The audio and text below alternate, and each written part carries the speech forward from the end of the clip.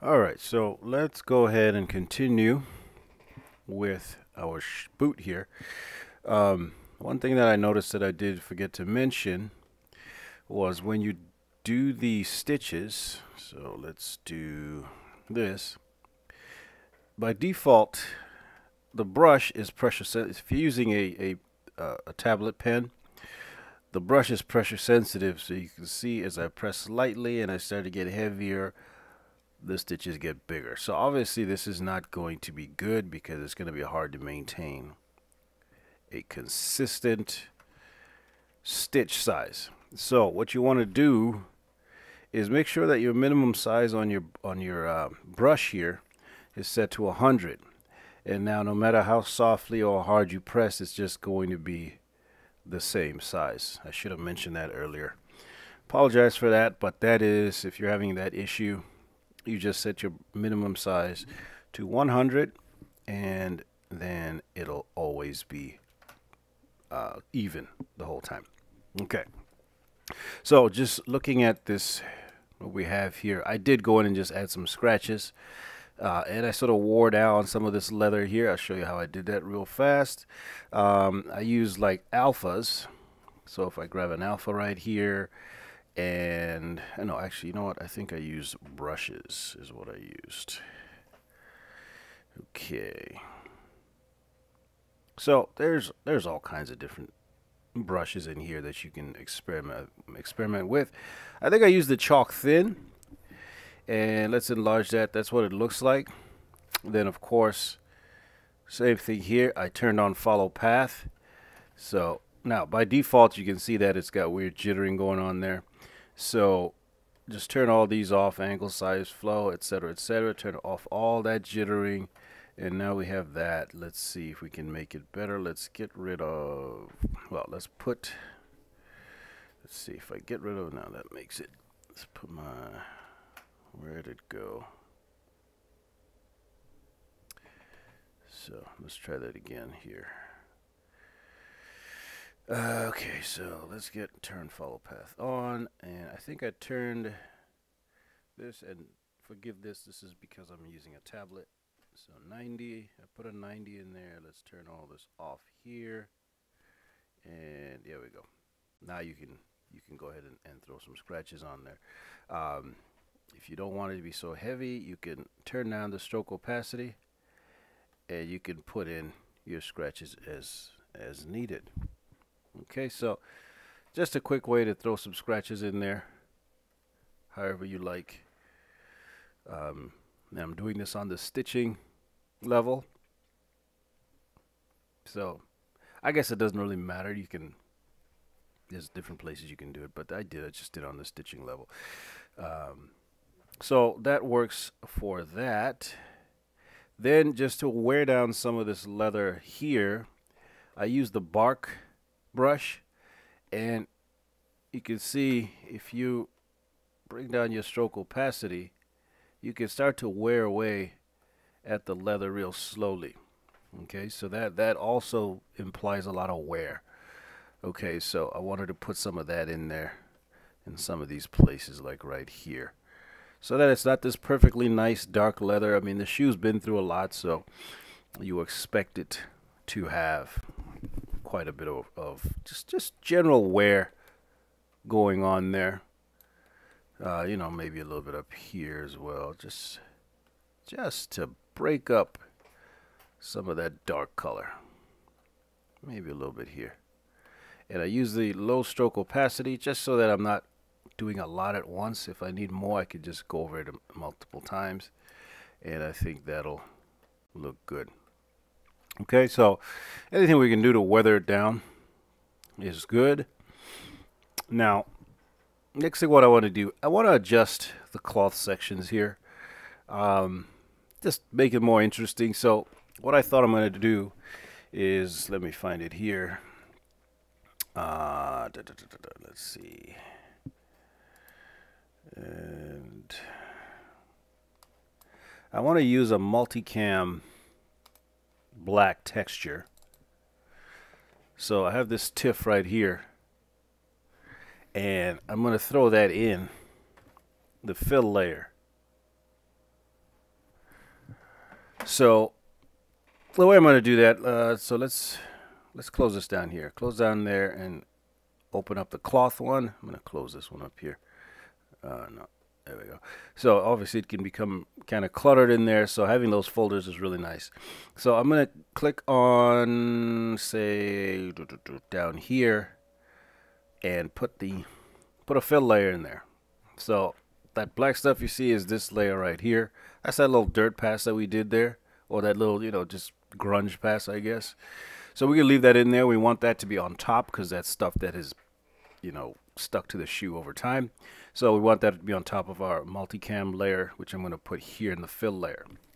So what I do, what I need to do then is is just drag my multicam image and drop it in here as a texture and I'm going to import it into this project and do an import okay so there it is there I'm going to add it to the base color of this fill layer and immediately you can see that we have our multicam in there now it's you know it's a pretty big image so let's let's see our tiling here let's go 0.5 uh, doesn't look like it's doing a whole. Actually, no, I'm going the wrong way. So let's go bigger than one. Maybe not so big. Let's go two. Oh, that's 25, not two. There we go. Okay, so now we have a seam right there. So what we can do is just maybe offset that so that it uh, moves the seams out of the way. So that's pretty nice. Um, the only, oh, let's zoom out here. The only issue is obviously it's kind of shiny. That's because we did not adjust the, you know, roughness and things like that. So let's let's up our roughness a little bit here. Take that shine off of there. We don't need metallic. Um, and there's no height information on that we're just going to use the height information coming from the layers below so we'll have a roughness and, and, you know you can turn the roughness off and see what you have I think yeah we probably need a little bit of roughness in there just so that it's not this too matte we want the light to be able to hit you can see how the light is hitting that looking really good so just to ratchet up the tacticalness of our boots here we're going to throw some multicam. If you don't like it full blast color like that, you can always drop down the opacity if you like to subdue it a little bit. I kind of like it. I kind of like it all all the way. Um, it looks like we do have a seam. Now the other thing you could do is try the triplanar. So projection right now is UV projection, so it's just projecting according to the UVs, right? So it's just laying it in there according to the UVs. Um, you can see where our seams are falling here. So if we try the triplanar, hopefully that will, then we had a seam there that looks like it's now gone. Let me hit F4 to go back here. And let's see. Okay, so the back here does not have the, as much detail as I would like. You can grab this and move it around and stuff. Uh, what triplanar is doing is actually projecting the texture from multiple directions and then just sort of blurring the edges of the of the uh, image so that you don't get you know visible seams and whatnot. So there we go. We got more detail in the back now. So you can move this around. You can rotate it. You can do whatever you want. Scale it. Um, so if I wanted to rotate it, I could do that. So it's it's it's projecting on on all three axes, and where you'd get seams, it's just putting a blur on that so that you have a nice transition. And that seems to be working pretty well here. So yeah I'm gonna go with that. I actually like that quite a bit. Just takes it over the top tactical um, which I think is pretty funny. Okay so that's what I'm gonna do let me just see again see I go back and forth maybe like 80 Drop it down to 80 or so. Let's see. Yeah, let's go down to 80. Just subdue it a little bit. It's too crisp. It was a little too crisp and too saturated, so Just gonna drop that down to 80, and I, I really, I really like that. If you hit tab, you can go full screen, which is cool. And I'm gonna save my file real quick. And once that's done, if it ever gets done, come on. Sometimes it's faster than other times, so who knows. Um, let's give it a second here. Let me see how big my file has gotten at this point. Well, we're over 4 gigs uh, at this point. So there's the file. It's huge. Okay, so and part of that is is probably because I added that multicam image that was pretty high res image, but you know it is what it is. Okay, so let's do a render real quick just to see.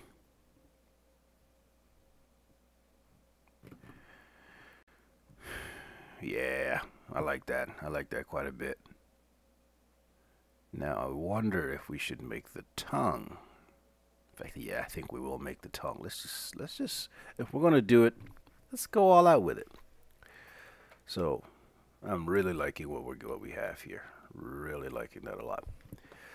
Okay, so turn that off, turn the render off, and you know while we're at it, let's go ahead and do the tongue because that white glaring tongue is just kind of ridiculous. So um, let's let's rename this layer. Try to rename your layers as much as possible. Um, just like here I fill layer call this I don't know call this grime or something so like fabric baseball cap is I believe it was just it was just adding a little bit of roughness and height to it so that's just the fabric texture from the baseball hat preset so we'll just leave that as is all right let's um, close this down now the tongues I believe are on 1013. Let's just check. Yeah. Okay. So let's so this is the brass. This is all the brass things that we have in here. And don't know if I mentioned this, but I did go back in and I smoothed out these. And all you had to do, all I had to do was just go back into the original, uh, into the Maya file, select these, smooth them, um, and then just select everything and re-export. And then just you know, rebake the textures, and you only need to rebake the textures for this one, one the one that that holds these. Um, and I'm I'm getting much much nicer results now. So I, I smoothed everything, even these side things here. Okay, so that just affected those, did not affect the rest of the shoe. So all you need to do is rebake the, the, the uh, maps for that UDIM. Okay, so if we look at our UVs, we need our texture for the tongue to just affect these. So what I'm going to do is, again, make a folder. And that got put in there, so I'm going to pull it out. I'm going to close this, and we're going to call this, how do you spell tongues? T-O-N, does that look right? I don't know. See, now I'm paranoid, so I'm going to look it up. T-O-N-G-U-E. Yep, looks like I got it right. Um, okay, so I'm going to go ahead and make a new fill layer, which I'm going to put in that group. And I'm going to grab my multicam again and put it in the base color just so that we have that there. And I don't know, we can do another two and maybe do our triplanar projection again. And again, don't need any metalness. Pull up our roughness a little bit. Okay, so now that we have that, obviously it has assigned that to everything. So we need to mask. So do a black mask. And I'm going to go, I'm just going to do it here in the UVs. I'm going to hit 4 to enter our tool here. This is a tool I like a lot. It works so well. Um, and I'm just going to drag. Now it's the, it's on polygons. Set it to UV chunk. And just take those two. And then hit 1 to get out of that tool and now we have the multicam on the tongues. Now, they're still smooth. I would like to keep this sort of cloth-like texture in there. So for that, what I'm going to do is I'm just going to go back to this shoe here. And No, not that one. This one. And I'm going to get the cloth texture. Um, and in fact, what I can do is just take the entire cloth folder. So right here, close that. Select the cloth folder, Control C to copy it, then go to 1013 and paste it.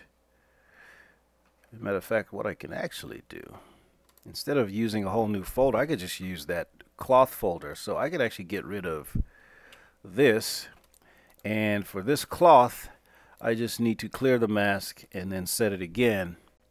So let's uh, hit F4 and then hit 4 and make sure on UV chunk select these two and then hit F4 to go back to the 3D view hit 1 to get out of that mode.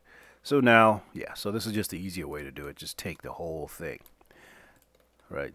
So now we have the texture that we want in there okay? So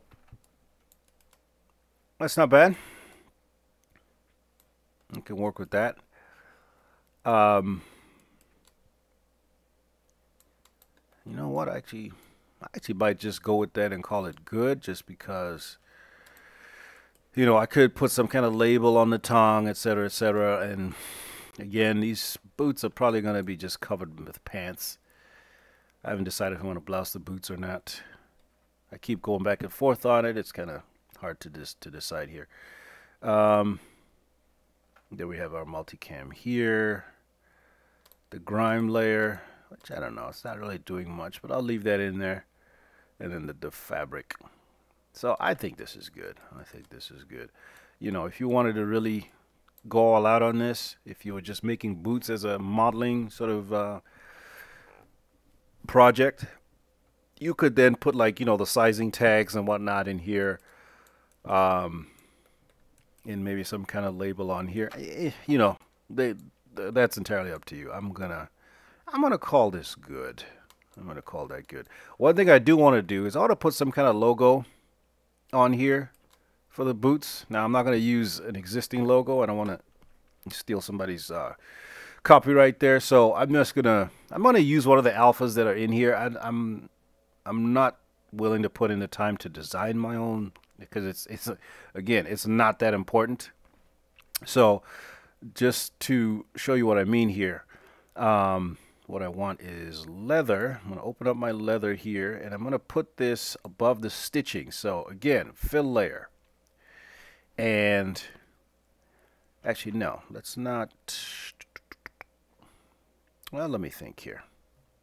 Let's see. Okay, let's leave it a fill layer. I'm going to make it black okay which obviously then blackens my entire shoe but I'm going to put a black mask on it and then you know you can just go through the alphas. Let's see this hand here. If I was to use that as my mask uh, let's see. Oh, it's not working. Am I in the right? I think I am. So hmm. let me think here. So I got that in the alpha. And I don't want any of these jitters turned on here. Oh, well, I guess this one doesn't matter. Oh, crap. So yeah, Substance is very customizable. I think I just shrunk my workspace, but that's fine. Let's do that. There we go. Now, um, do I need to invert this? No. It's probably something real simple. No. Alright, alright, alright. Let's see here. Um... Yeah, you know what? I don't think it's a fill layer that I want. Let's let's go ahead and delete this fill layer. Just make a regular layer. So there's a fill layer and there's a regular, just sort of Photoshop style layer that's just empty. Uh, let's see if it'll work this way. So, I don't know. Let's grab that hand again. One of these. Put it in there. And, yeah, you can paint it on there as a color. Um, so I'm going to set again my base color to black and I'm going to set my height to the negative so that it cuts it into the surface so you can see that. There we go. That's what I was trying to get. So that's a pretty good level there. I don't need any metallic. Uh, and then my roughness, you can decide how shiny you want that to be, right? So if I turn my roughness way down, it's going to be real shiny and reflective. And then if I turn my roughness up, it's going to be pretty matte. Um, and you can check the roughness channel. So where's my roughness? So I keep hitting C till we get to roughness. And then you can see what we have there. So if I undo that and increase my roughness, and I can paint while I'm in the roughness uh, channel here, now that's, you know, that's really rough. So if I hit M, I know that it's not going to be shiny at all. So that's, it's a cool way to sort of carve something into the surface. So let's go negative 0.2 right there. And that's how deep it's going to cut into the surface. Okay, so, you know, whatever, you can use anything literally for that logo. It's entirely up to you. I'm just going to go through the alphas and see what I like see something that looks cool. Um, you know, maybe that's kind of interesting. Right, if you want to go with this sort of tactical post-apocalyptic thing, that's kind of a cool one. You want to use a radioactive symbol, vent, whatever you wanted that. Um, literally could be any of these, or you can make your own. Uh, like I said, I don't want to put that time in, so I'm going to just go through here, see what I like. How about this guy here? That's kind of interesting. I kind of do like that. All right, so yeah, let's go with that. It's kind of cool, right? And, you know, you don't have to use full-on black. If we wanted to go and make, you know, kind of really dark brown maybe, then we could, oops, do that. I don't know. I kind of like black, but, you know, feel free. You want it red, you can have it red. Although it's hard to tell. It's pretty dark red. Let's, let's go up. Yeah, you could have it. Yeah, but that looks horrible. Um, so, you know, decide what you like. I think I like it better black or really close to black. so something like that so and then if you want you can um, let's see control and drag up and down on your mouse with the left mouse button. Will rotate it. So if you need to rotate it say to, to sort of flow that way. That's kind of cool. Uh, I don't know. Now I'm having second thoughts about that one. How about this one? That's okay. You can tell I'm not the most decisive person. Uh, how about the star? Sort of lawman type motif there.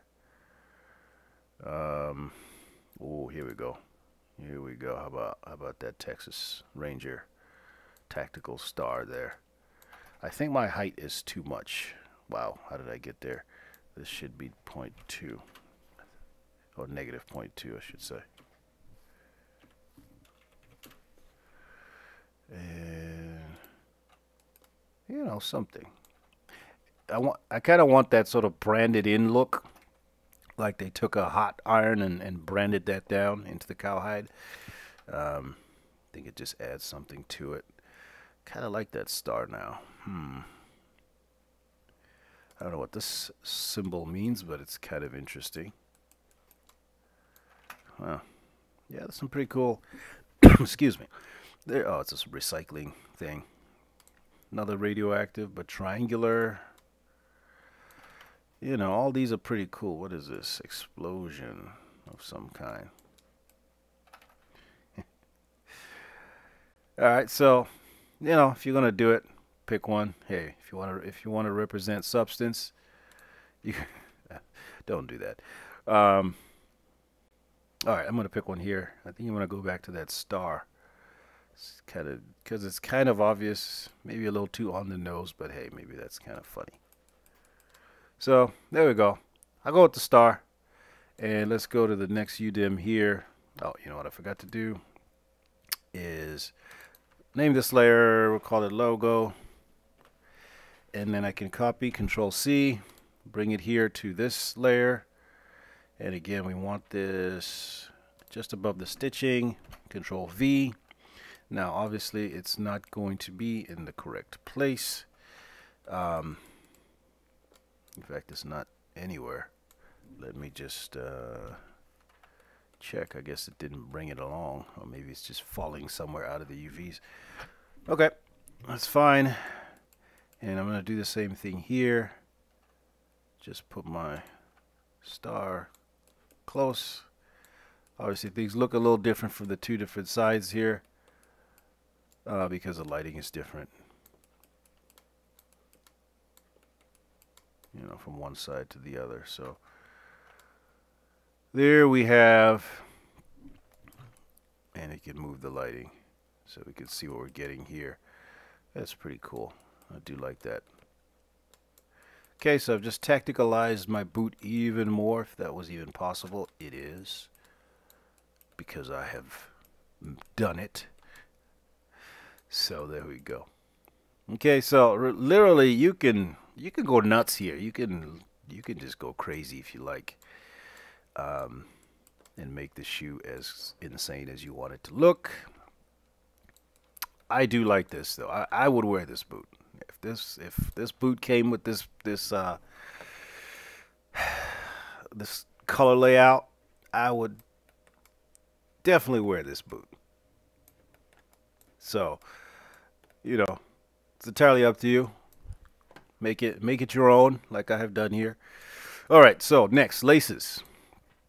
So the question we got to ask here is how do we want to set these laces up? Do we want just a, a completely separate material for the lace that's like, you know, tan colored or something so they're they're bright in contrast or do we want to use the multicam on the laces I don't know so let's uh where is my multicam it's under the cloth so this is this it no this is I thought I renamed this. Oh, this is the other shoe. Oh yeah, I did not do the multicam on the other shoe. So where where did I put that multicam? Oh, this is the leather. Let's go to the cloth. Multicam is right there. So yeah, there it is. So if I control C and then go to this guy here, and I'm gonna this is my grime layer. And I'm gonna put the multicam control V right there. And now we have it on this side. So we're equally tactical on this side as we are on the other. Okay I keep feeling like this roughness is a little high so, or a little low I should say so I'm gonna turn this up let's go to 0.6 and then let's go do the same on the other one because I don't want this to be sh too shiny because it is sort of cloth. Um, this is why you got to mess with the lighting. Adjust your lighting to see shift, right mouse click and drag. Okay, you don't want to completely decimate that shine, but you don't want it to be too, let's go points, really, 0.7. There we go. Yeah, I think I like a 0.7. So I'm going to do the same on this side. So multicam oh, 0.7 just just beat that down a little bit. There we go. So I, I mean I'm sure you've you've noticed it's it's just endless tweaking. Um, and what you have to do is be able to, to say okay that's it and and stop because you will be at it forever.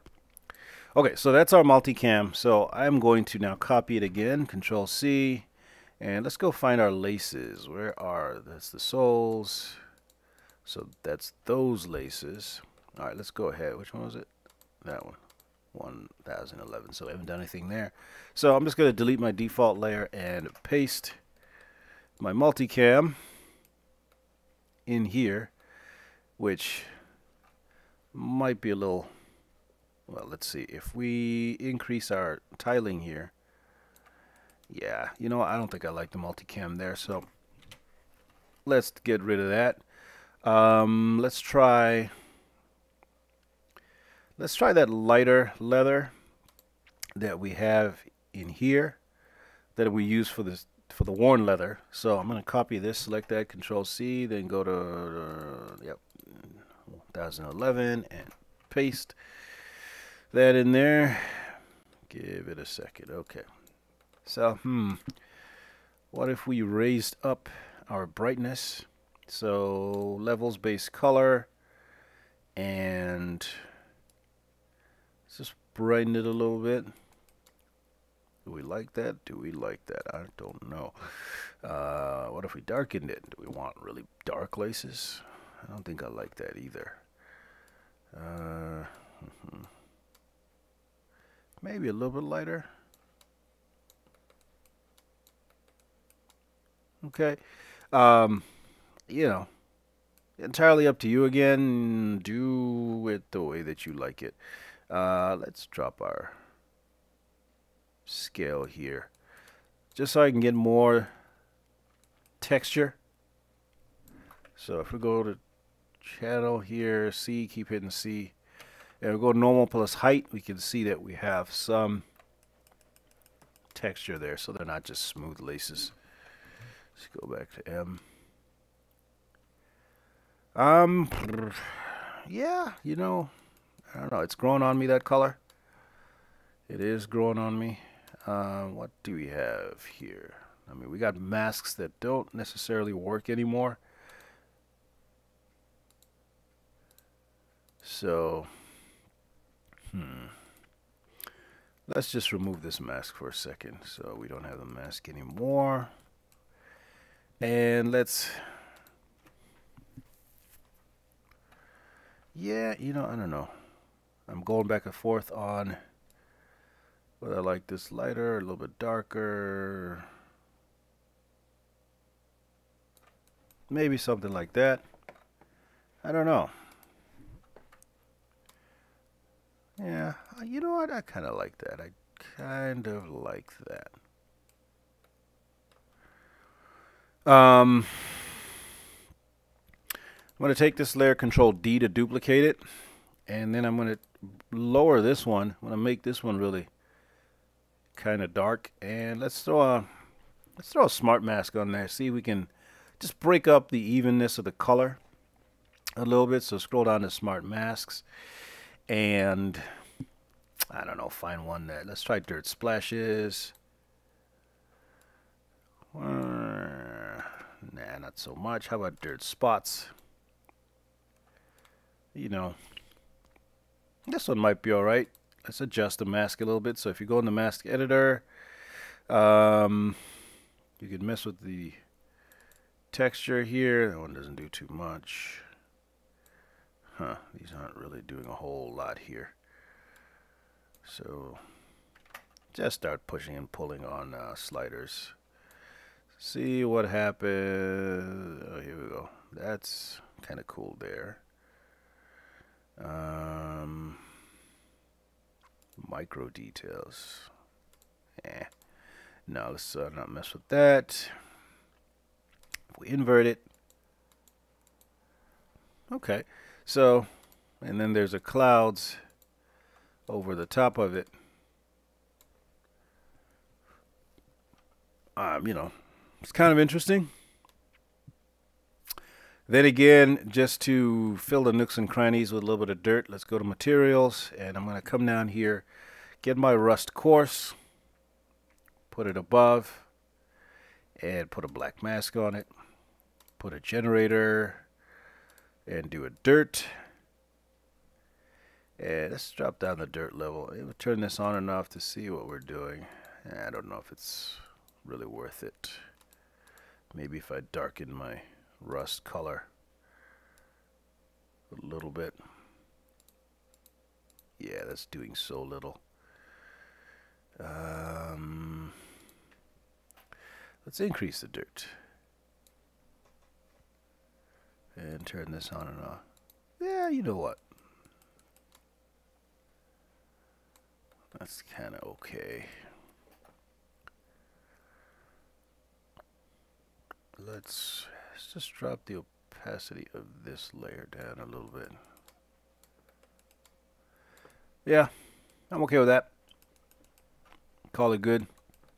Okay, so I'm guessing, yep, this is these guys. So what I'm going to do is if we just select all of these, just holding control as I click on each one and hit control G, it's just going to group them into a folder.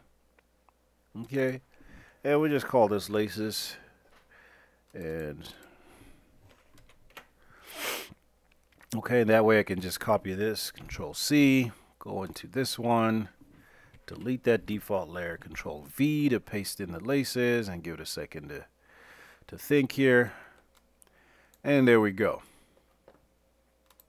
Okay, so now we have laces. I'm just going to look to make sure it's not the exact same texture. It's not. It's getting different parts of the texture. Okay, so our boots are coming along very nicely, I think, anyway. Um, let me save here real quick. Okay, so at this point, really all we got to do now is our soles. And so let's let's go with that. All right, so um, now for the soles, what I do want to do, and if you remember way back when we created normal maps in Maya for the sole, we just had the one shoe. But I have since, you know, adjusted the UV, so now there's two soles on one UV map. Before there was just one, so th that old normal map is not going to work. So I want to go back in and regenerate in Maya from the scan. So project details from the scan back on here because it the soles look much nicer with that normal map on there. The the tread and everything looks a lot crisper, a lot tighter. So I'm going to do it again, but I'm going to do it for both shoes at once. So I'm going to duplicate the scan at the other side so that we can do that. Okay, so we will jump into Maya to do that and go from there.